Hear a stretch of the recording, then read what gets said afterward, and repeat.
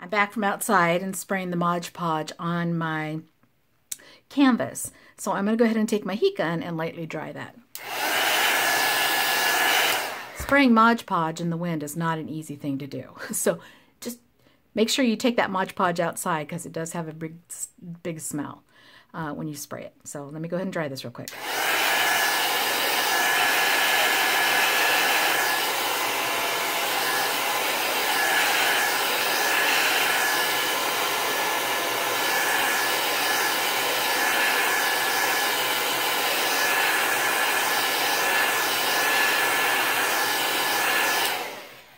Okay. Now that this is nice and dry, I'm going to go ahead and I'm going to decide what kind of decorations I want on my image. So for instance, on this one, I did uh, flowers that I thought coordinated really well with this one uh, background that I have. Um, so I'm going to go ahead and take some flowers that I worked out and see how I want to lay it, which side I decide is going to be up, which side's going to be how I want this. So let me go ahead and just try a couple different ones here. Okay, I don't really know if I like it that way. Let's try it this way again. I'm going to decide where you want to place your flowers. I kind of like the layout I had of the last one, so I'm going to go ahead and use this one again here. I'm going to go ahead and take some little leaves that I have in my stash, um, and I'm going to cut those and get those ready. Okay, and sort of cut them in half. You can go to the Dollar Tree and just buy a bunch of fake flowers and stuff, um, and you can use those on your designs as well. Um, it's a lot cheaper, and you can get a wide variety of stuff. Um, I personally have a lot of these silk and paper flowers that you can buy at the craft store. Um, so I just have a big hat box full of these flowers that I just rifle through and, and pick. Now, my greeting that I'm going to put on here, or the sentiment that I'm going to put on here, is this one here. It says, I can't adult today. I just thought it was hilarious, and I thought it would go really well with this tired as a mother if I were to sell them. So we're going to take this design, which is a sticker. It's a clear sticker that I bought, um, and I'm going to end up putting this over here. So I'm going to need to go ahead and place my flowers where in a way that they won't interfere with the greeting too much. I mean, a little bit is okay. Okay, so once you have the placement set on how your everything's going to be, we're going to take a hot glue gun and we're going to go ahead and we're going to get things glued down. So let me go ahead and just get the placement here, make sure I'm happy with everything the way I want it. Okay, let's see, do I kind of like this purple one up on top? Okay, now on this one here, you notice that I did these little black things here. These are actually little stickers that I bought a long time ago from Walmart. And um, I just have little pieces that I have left over from everywhere, from, from all my other projects. So I'm going to go ahead and take some of these stickers and I'm going to go ahead and decorate underneath the flowers, okay? So there's my design that I think I want to do. So I'm going to go ahead and peel off these stickers because I like the I like the black. It, it really pops against this colored black background and I'm going to go ahead and take these stickers and pop them on. Come on now, get out there. Ah! Jumped off the sheet onto me. and I'm going to go ahead and decide how I want to decorate it. So I think maybe I'll put it up under here like this. So you just sort of eyeball it. You know, the flowers are going to cover up quite a bit. Because this background is gessoed and Mod Podge, I can peel the stickers back up again easily without any problems if necessary. So I'm going to go ahead and put that down and sort of burnish it with my fingernail like this. Okay. Let's see. So it was sort of like this. Let's see if we can get this back and create it again. See if I want to put any more of these stickers on. Yeah, I think maybe I'll put something maybe down here, maybe this one.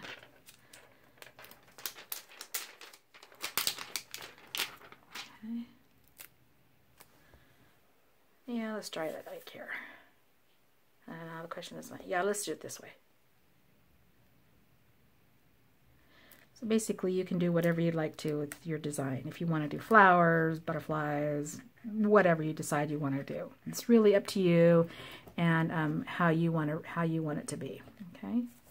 So let's see. Let's try this again. Let's just sort of place it on there and see if I need any more to zhuzh it up a bit. I'm sort of going to have my thing right here.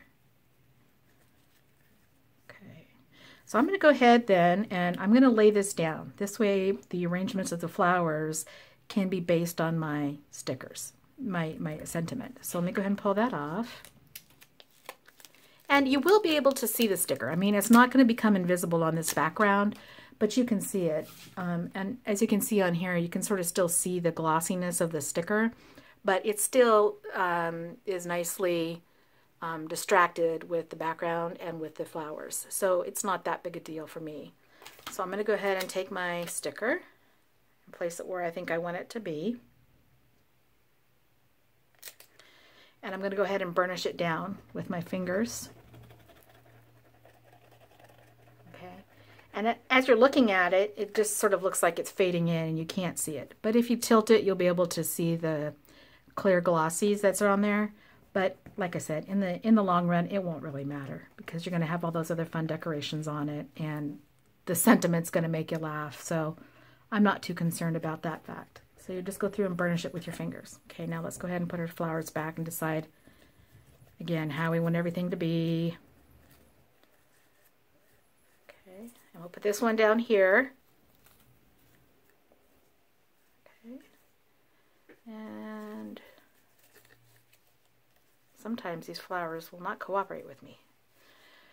All right, now I have my leaves, and once I decide where I want to roughly put my leaves, I can go ahead and put those in. Okay, I think I like the flowers in this layout.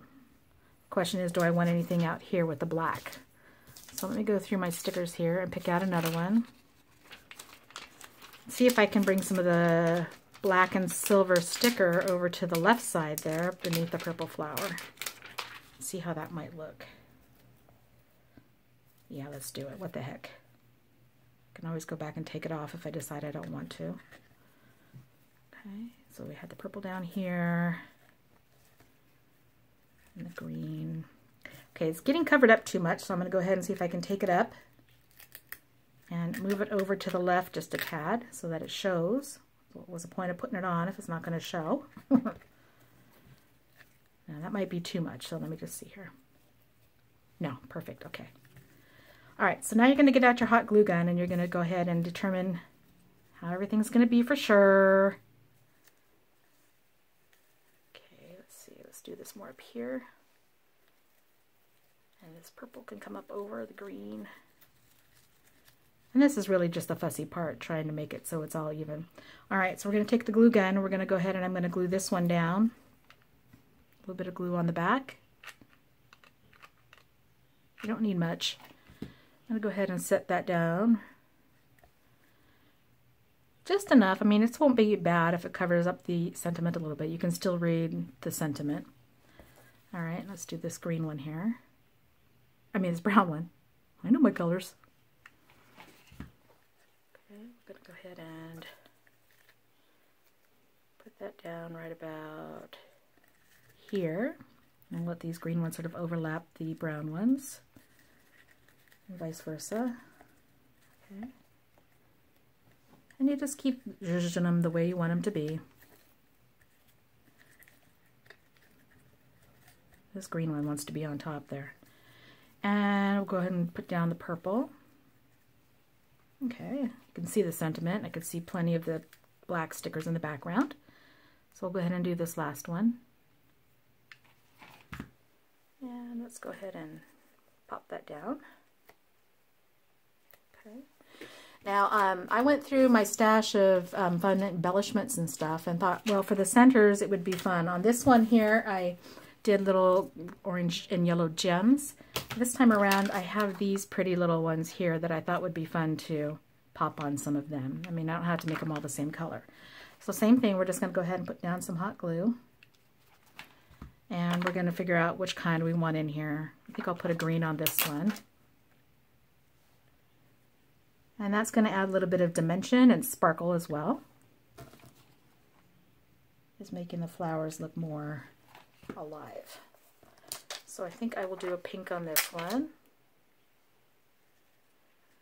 Really, it won't matter because we have a lot of these same colors throughout the canvas, and so it will end up looking okay. And let's see, what color should I do on this one? I think blue would be too much. So, No, what the heck, let's do a blue. Okay. So now these each have their own little thing, you know, centers and everything. Okay. And now to complete this, I'm going to go ahead and put in my leaves. Got to decide where I want those.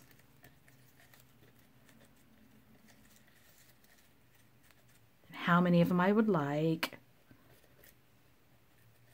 Let's see, let's try putting one here. Down here maybe.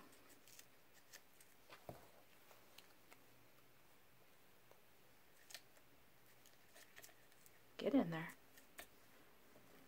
Uh, I'm not feeling this one too much here.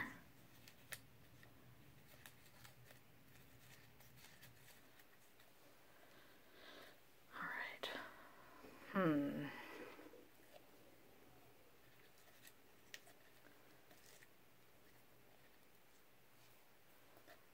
Think I need one up here. It's looking naked. So go ahead and put that one in here. And go ahead and get this one in here. Okay, so I'm going to go glue those in real quick. It's just going to have to be. okay. Go ahead and stick that puppy in. Get those little glue gun strings. You got to get those out. Go ahead and get one here sort of a weird technique I do. I sort of twist the glue gun around like that to get rid of the string. It doesn't always work, but okay. And then down here, we'll go ahead and glue these two down. And then we got to see if my fat little fingers will let the thing get in without getting everywhere. So hang on, gotta get my little fingers in there. There's that one. And this one, now I'm thinking I want it over there up here. I'm going to put it up here. Although that will cover that, so let's go ahead and put it back down here. What the heck. Okay. All right. So you can go ahead then, and that is um, actually how I did it. I just went ahead and um, got my dollar store frame. I took out the glass. I took out the backing here, just like this. Let's put this one in and see how it looks in the frame. So I'll take this other one out since I don't have another dollar store frame. So we take out the glass, go ahead and pop this in to the frame just like this. Flip, flip it over real quick to see how it's looking. Okay, and sometimes your flowers may come up um, underneath the edge. You just go ahead and you can take some tweezers and just sort of like lightly pull it up so it looks dimensional um, outside the frame. And then we're going to go ahead and put our backer back on and push it down and fluff it up and voila, we've completed a frame. So the thing that takes the longest on this is probably doing the gesso and, and deciding where you want your flowers and what decorations you want to use. But um, all in all, this took me in real time probably about 20-30 minutes um, to do all this. Uh, that included putting the layer of gesso on and letting it dry. So um, if you've never used gelatos, um, I highly suggest going out and getting some. Like I said, they come in every color. Um, you can do all sorts of techniques with that, uh, with gelatos. This is just one of them that I like to use. But um, go ahead and get some and try them out. I hope you like this tutorial. Bye.